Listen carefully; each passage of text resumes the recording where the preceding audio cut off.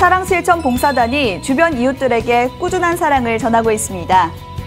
지난 3월 윤승규 봉사단장을 포함한 교직원 44명의 의료봉사단은 강원도 영월군을 찾아 천주교 원주교구와 연계해 지역 주민 137명을 대상으로 의료봉사를 펼쳤는데요.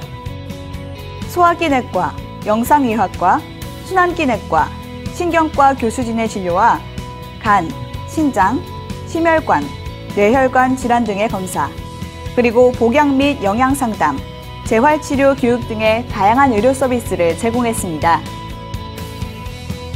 사랑실천 봉사단은 의료 사각지대에 처한 이웃들의 행복을 위해 앞으로도 가톨릭 영성실천과 사랑실천을 계속해 나갈 예정입니다.